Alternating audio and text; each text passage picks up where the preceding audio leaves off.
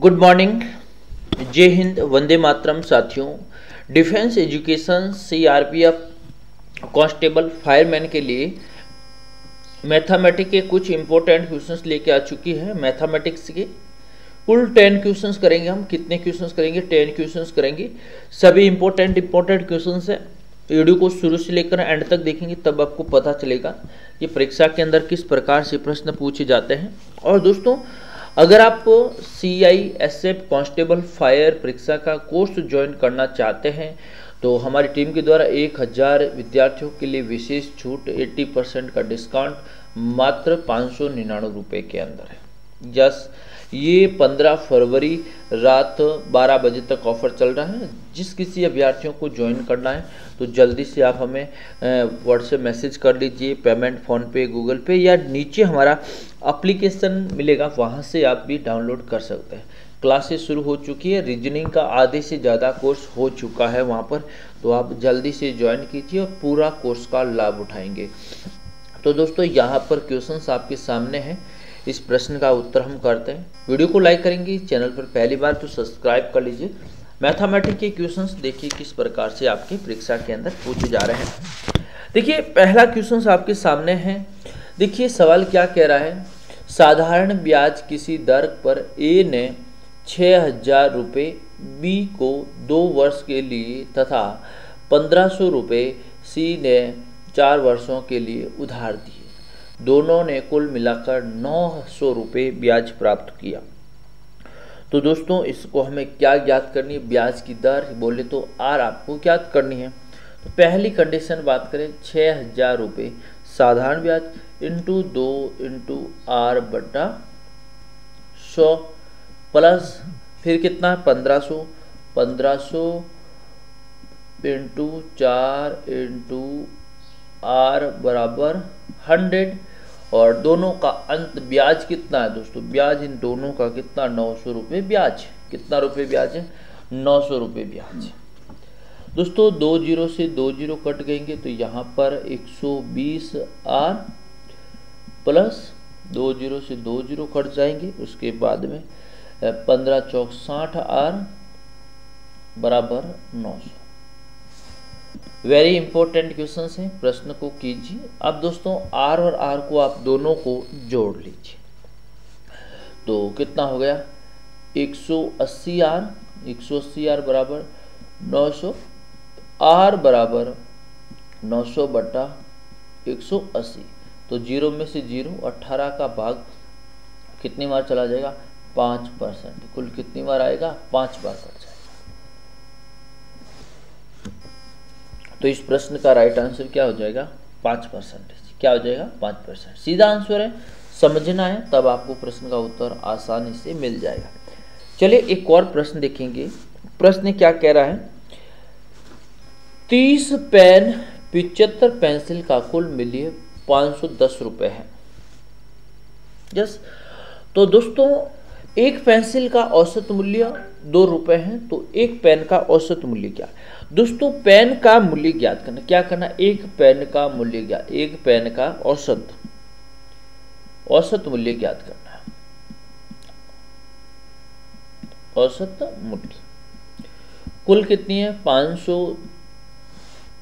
दस में खरीदे और पाँच सौ दस। और पूछा है, पेंसिल का तो इसका मूल्य अगर दो से, क्या बोला? औसत मूल्य दो है तो कितना हो जाएगा? एक सौ पचास हो जाएगा। एक सौ पचास। पेन हमारे पास कितने तीस। तो तीस का भाग दे देंगे। तो हमारे पास कितना आ जाएगा? ज़ीरो में से ज़ीरो गए, ज़ीरो और सोलह देखेंगे। यहाँ पर देखेंगे, एक में से पाँच जाएगा नहीं, ग्यारह। ग्यारह में से पाँच के एक पीछे कितने बजे छः। यहाँ पर हो जाएँगे दो। तो कितने बचे? तीन। तीन बट्टा तीन। तीन सौ साठ बट्टा तीस। यह तीन सौ साठ बट्टा तीस। ज़ीरो में से ज़ीरो गए और ये कितनी बार चला गया? बारह बार चला गया। तो इसका राइट आंसर क्या हो जाएगा? बारह रुपये कितने हो जाएँगे दोस्तों? बारह रुपये राइट आंसर क्या हो जाएगा? एक पेन का मूल्य, औसत मूल्य कितना रुपये हो जाएगा? बारह हो जाएगा। क्योंकि एक पेन का मूल्य ज्ञात पूछा क्या पूछा? मूल्य आपसे पूछा है। तो 510 आपके पास कुल खरीदारी है और पिचहत्तर आपके पास पेंसिल है। इंटू दो से करेंगे, टोटल हमारे पास आ जाएगा कितना आ जाएगा? 150 और पेन हमारे पास 30 है तो देखेंगे 510 में से 150 लेस करेंगे तो 360 बट्टा साठ। कितने रुपए आगे बारह रुपये देखिए, यहाँ पर एक और प्रश्न है। एक वस्तु का क्रम मूल्य बारह सौ रुपये है। वस्तु सितर परसेंट हानि पे बेचने। दोस्तों, आपके पास सौ रुपये की वस्तु है। अगर आप सितर सॉरी, तीस रुपये हारने में बेचेंगे तो कितने रुपए में बेचें कितने रुपए में एक्चुअल प्राइस कितने? सत्तर। तो हमारे पास बारह सौ रुपये हैं। कितने रुपए? बारह सौ। किसके बराबर है? सौ के बराबर है। तो हमें किसके बराबर ज्ञात करना है? सत्तर के बराबर ज्ञात करना तो दो ज़ीरो से दो ज़ीरो और सात आठ बारह इंटू सत्तर। कितने हो जाएँगे दोस्तों? आठ सौ अस्सी रुपये हो जाएँगे। आठ सौ चालीस रुपये कितने रुपये आठ सौ चालीस रुपये आपके हो जाएँगे। तो इस प्रश्न का राइट आंसर क्या है? आठ रुपये अब दोस्तों आप सोचेंगे कि सर इतने इजी सवाल भैया ये इजी सवाल नहीं एग्ज़ाम के अंदर आप करेंगे ये सवाल भी आप गलत करके आएँगे ये चीज़ मैं बता देता हूँ। चलिए अगला क्वेश्चन है एक रे, रेलगाड़ी एक थंबा को 12 सेकंड में पार करती है। यदि रेलगाड़ी की चाल 72 किलोमीटर प्रति घंटा है तो दोस्तों, ये किलोमीटर प्रति घंटा और हमें पूछा है सेकंड के अंदर पूछेंगे तो हम भी इसे क्या करेंगे, पर सेकंड में बदलेंगे। तो पाँच बट्टा अठारह तो दोस्तों पर सेकंड में अगर हम बदलते हैं तो यहाँ पर आप देखेंगे, अठारह का भाग इसमें कितनी बार गया? अठारह का भाग इसमें कितनी बार गया? देखिए, अठारह अठारह अठारह छत्तीस छत्तीस एंड छत्तीस बोधर कितनी बार गया? चार बार। देख कितने बच्चे यहाँ पर? बीस। क्या हुआ? बीस। अब दोस्तों आपके पास में सेकंड कितने बीस इंटू बारह सेकेंड। क्या है? बारह सेकेंड। तो इसको गुणा करेंगे बारह एक बार बार दो, चौबीस। तो आपके पास में कितना मीटर आ जाएगा? 240 मीटर। कितनी हो जाएगी? 240 मीटर। ये तो आपके पास में चाल हो गए दोस्तों। क्या हो गए? चाल। चाल आपके पास बीस आ गई, बीस इंटू बारह सेकेंड तो आपके पास कितनी होगी? 240 मीटर. तो 240 मीटर क्या है? रेलगाड़ी की लंबाई हो गई चलिए देखेंगे। यहाँ पर एक और क्वेश्चन आप सभी के लिए, दोस्तों। एक सौ इकतालीस, एक सौ छियासी तथा दो सौ इकतीस को कितनी बड़ी बड़ी संख्याओं में से विभाजित किया है? तो दोस्तों, इससे ऐसे प्रश्न एग्ज़ाम के अंदर पूछे ना तो क्या करना है? जैसे एक सौ छियासी में से एक सौ इकतालीस लेस कर लीजिए। कितने बचेंगे? पैतालीस। दो सौ इकतीस में से एक सौ छियासी लेस कर लीजिए। कितने बचे? पैतालीस। दो सौ इकतीस में से एक सौ लेस कर लीजिए। कितने बचे नब्बे। क्लियर अब दोस्तों क्या करना है? यस इसका मसब क्या है? मसब क्या है? मसब कितना होगा? दोस्तों, पैतालीस पैतालीस, नब्बे का मसब छोटी से छोटी संख्या कितनी है? पैंतालीस। तो इसका मतलब क्या आ गया?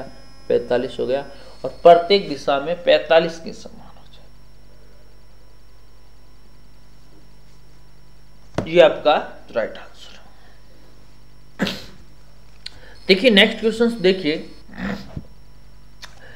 दो सौ पचास को ए बी सी को इस प्रकार से बांटा जाए। क्या है?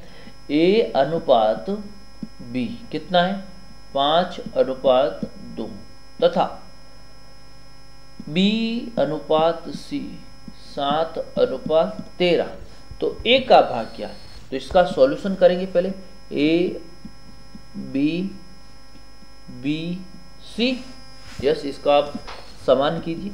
तो देखेंगे, पाँच अनुपात दो और सात अनुपात तेरह। अब इसको कैसे ज्ञात करेंगे? इसको हम बनाएँगे झट बनेंगे क्या बनेंगे दोस्तों? झट इस प्रकार से। पहले इससे गुणा करो। सातों पंजा पैंतीस, अनुपात सात दूनी चौदह, फिर अनुपात छब्बीस। यस गुना हो गया। तो देखिए, पैंतीस अनुपात चौदह अनुपात छब्बीस। ए अनुपात, बी अनुपात, सी। यस ए अनुपात, बी अनुपात, सी। अब देखिए, कुल धन आपके पास कितना है? कुल धन। कुल धन आपके पास है सात सौ पचास रुपये। कुल धन की बात है कुल धन आपके पास कितना है? सात सौ पचास रुपये आपके पास भाग है। कितना है? कुल धन आपके पास कितना है? यस कुल धन आपके पास हो गया। अब देखेंगे, पूछा एक का हिस्सा तो आपके पास एक का हिस्सा कितना है? पैंतीस है। तो दोस्तों, यहाँ पर आप देखेंगे, पैंतीस। इनका योग, सभी का योग करेंगे तो कितना आ जाएगा? सितर नहीं सॉरी सितर क्या? पाँच, पिचहत्तर सेवेंटी फाइव क्या आ जाएगा? सेवेंटी फाइव इन टू सात सौ पचास। तो भैया यहाँ पर आप देखेंगे पिचहत्तर में से पिचहत्तर, यहाँ पर दस बचे। तो यहाँ पर कुल कितने हो जाएँगे? तीन सौ पचास। ए का हिस्सा कितना है? तीन सौ पचास। कितना? तीन सौ। अगर दोस्तों आपसे पूछता बी का हिस्सा बी का भाग तो बी का भाग कितना है? चौदह बट्टा seventy five into seventy five zero. तो यहाँ दोस्तों आपका बी का हिस्सा आ जाता है सेवेंटी का, ये भी कितनी बार चला जाएगा? दस बार तो ये बी का हिस्सा एक सौ चालीस आ जाता बीस का हिस्सा एक सौ चालीस। सी का भाग अगर आपसे पूछते सी का भाग तो दोस्तों सी का भाग है छब्बीस बटा पिचहत्तर इंटू सात सौ पचास। तो भैया ये देखिए, ये भी सी का भाग है, पिचहत्तर का पिचहत्तर का, पीछे बचा दस, यहाँ पर दो सौ साठ। तो ये आपका क्या आ जाता सी का भाग जाता। तो कंटिन्यू आपको समझ में आ गया होगा ए का भाग कितना है दोस्तों? तीन सौ पचास है। बी का भाग कितना है? 140 है। सी का भाग कितना? है 260 है। ये आपके भाग रहे। आपसे पूछा क्या? ए का भाग 350 क्या पूछा? 350 नेक्स्ट क्वेश्चन देखेंगे। अच्छा प्रश्न है। दस मदों का औसत अस्सी है। जब एक मद को 50 की जगह 60 गिनी जाए तो सही औसत क्या होगा? क्या पूछा? वास्तविक औसत क्या होगा?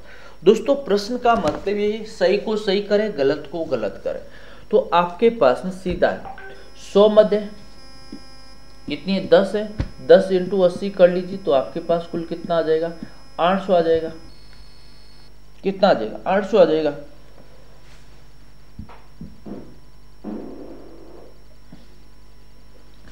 पचास, जहाँ पचास लिखनी थे लिख दी हमने, कितने, यहाँ का अंतर कितना है? दस का अंतर है।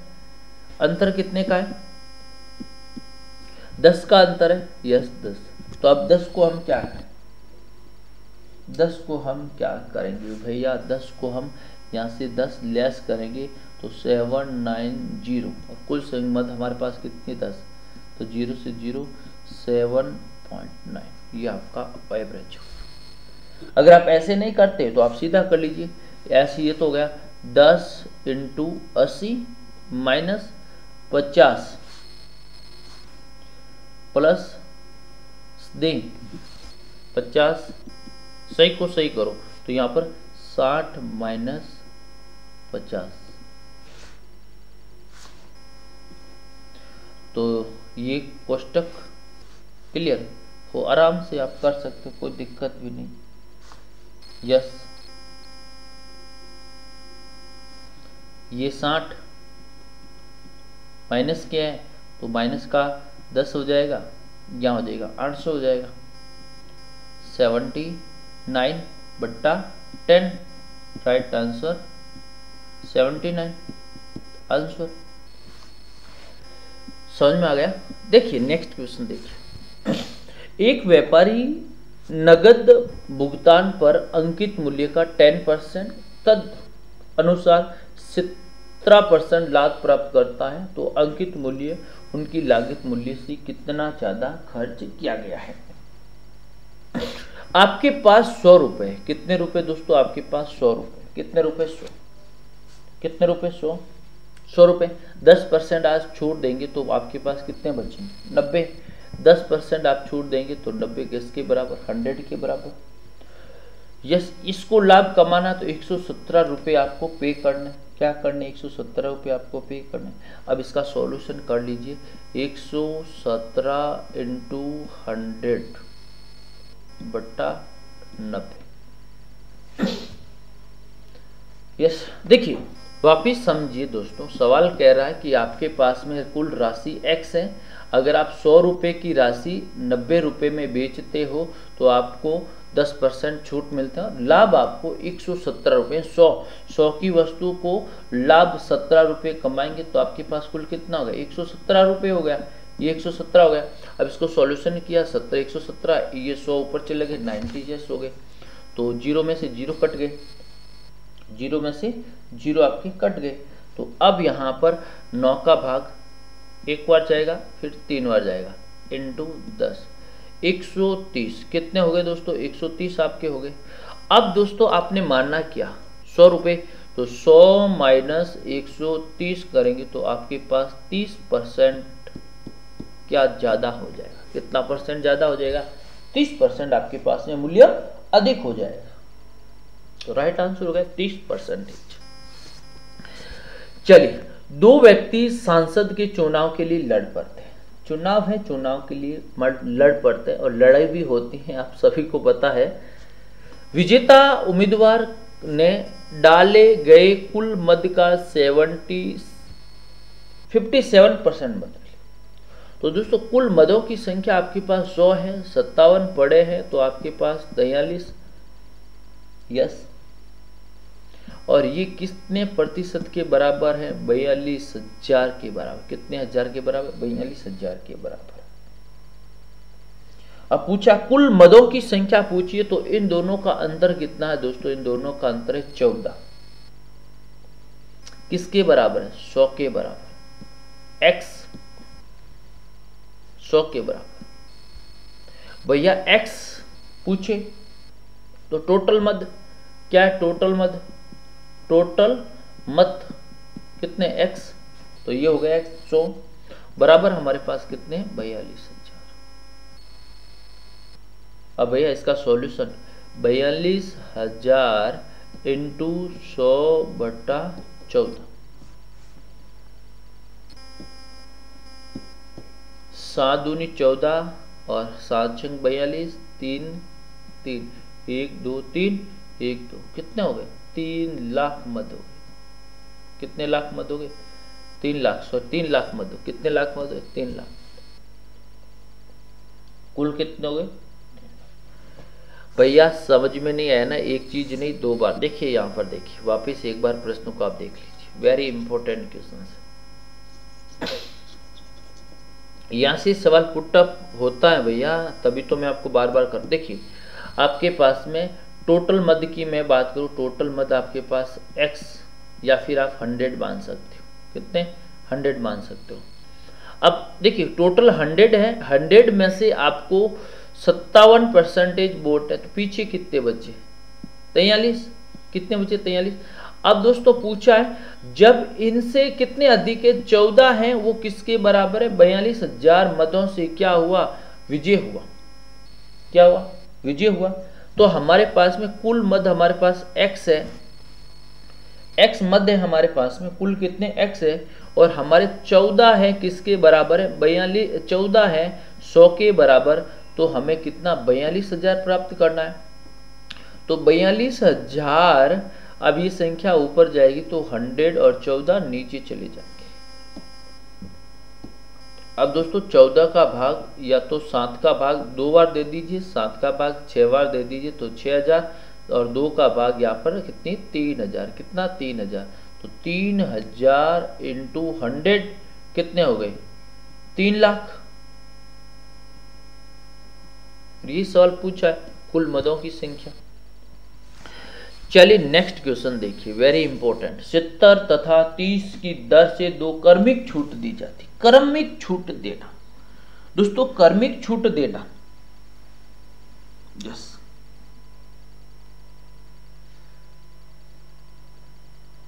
कितना आ जाएगा? सितर इंटू तीस बट्टा सौ, दो ज़ीरो से दो ज़ीरो तो सात इक्कीस। यस। छूट कितने ऊपर देते हैं? हंड्रेड। हंड्रेड में से twenty one less गएगा seventy nine percentage. Seventy nine percentage छूट। यस तो दोस्तों, ये मैथ की क्लास और हमें ज़रूर, अगर आपको ज्वाइन करना तो आप हमें ज़रूर बताएँ। वीडियो को लाइक करेंगे शेयर करेंगे। अपने सुझाव देते रहिए। धन्यवाद।